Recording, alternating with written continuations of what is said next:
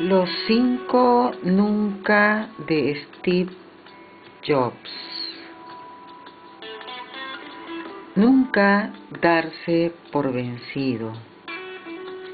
Nunca aparentar. Nunca mantenerse inmóvil. Nunca aferrarse al pasado. Y nunca dejar de soñar.